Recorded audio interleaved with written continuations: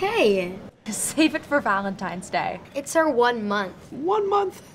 No, it's not. When did you start counting? From the first time she let. Okay, that's enough, Sebastian. When do you think we started counting? Babe, shh, Bess, wait. I just got a text from my friend at the Knights Daily. They're breaking the news that tomorrow morning there's going to be A 10% tuition hike for next year. 10%? Jesus. We're definitely going to use that for our next issue. Can we do a call for open submissions? That's a good idea. Photographers, I expect there'll be some protests. Get that? Essayists, I really want to coordinate with you what you're writing. Try I to. want to write an essay. You're a poet. I care about this. I want to write an essay for this issue. Wait, aren't you from like the Hamptons or something? I don't. I. What are you? Dude, I- let her write an essay. Prove to me you can do it, Eva. You have 500 words. I'll decide when they're done whether or not they make the cut.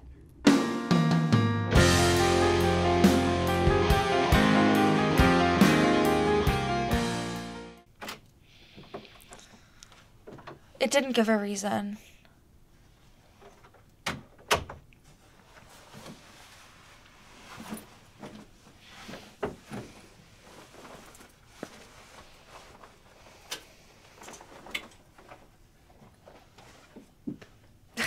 yeah, I know it's crazy.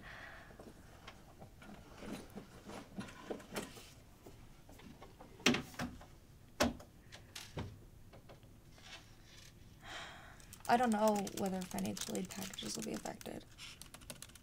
Maybe I can pick up another job?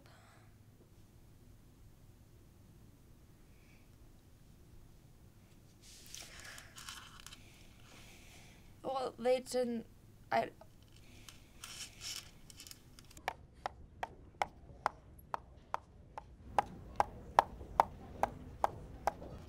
Sebastian, stop distracting me. I'm just looking at you. Your face is distracting me. My face is distracting. Yes, your face is distracting. What you working on? The essay.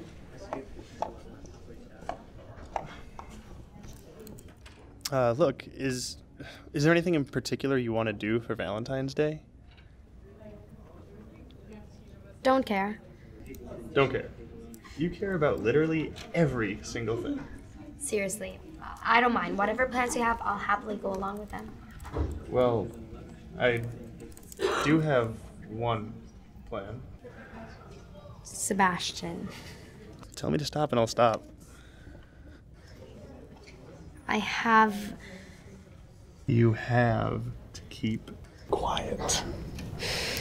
This benefit toward a student's education should not be a detriment to that student's financial situation.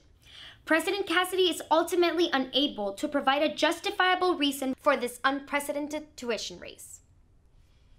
Cool. That's it? Isabelle. Um, it's nice. Eva, really, it's fine. It's just not the most personal, and because you're a rich kid, it sounds kind of preachy, but it's fine. Uh, Well, I can't help how I was raised. No, but maybe you shouldn't be the one writing this article then. Well, then who should be? Mom's been calling every day asking if I have any news, and I, I don't. I don't know what to tell her. I know. And meanwhile, they've been making cuts at my dad's plant, and he's not that important there, so we don't know if he's gonna get cut too. Amy, you are so strong. Stop it. Really. I'm serious. I I know this has been putting a lot of stress on you and forcing you to deal with things on top of all your work and stuff. Thank you.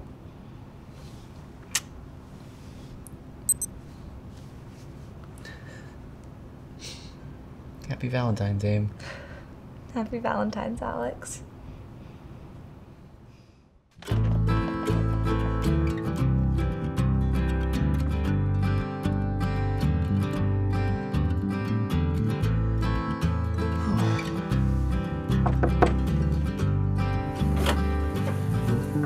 Hey.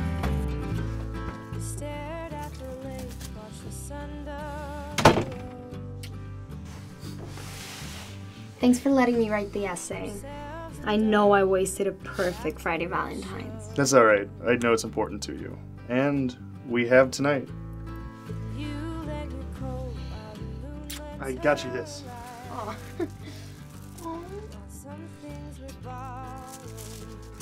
Um, I know you're not really a journalist, but I thought you still might like it anyway.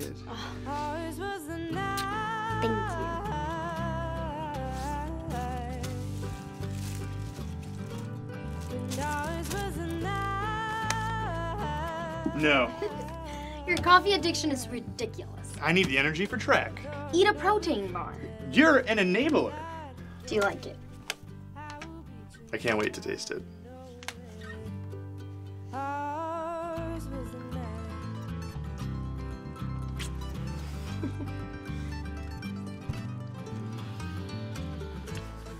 You know, you're kind of my first boyfriend. I did know that. I mean, it's nice to have someone to spend this day with. It's nice to have someone to spend every day with.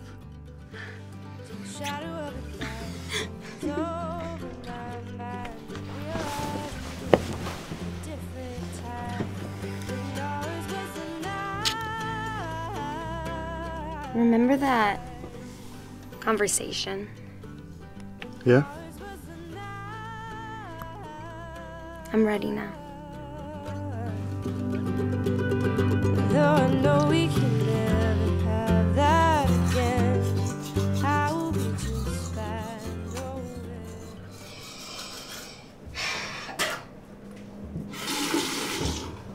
Hey. Hi. Um, Amy? Please don't take this the wrong way, and I- I'm really sorry in advance if you think I'm taking advantage of you. Can I interview you for my essay on the tuition race? To Eva's first published essay.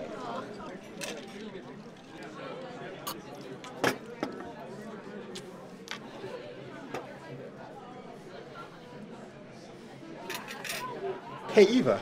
Great article. I really think it's some of your best work. Thanks, Jamie. It Means a lot. No joke. I'm gonna send a copy to Bennett in Vienna. He's just gonna fall in love with you. Who's Bennett? You never saw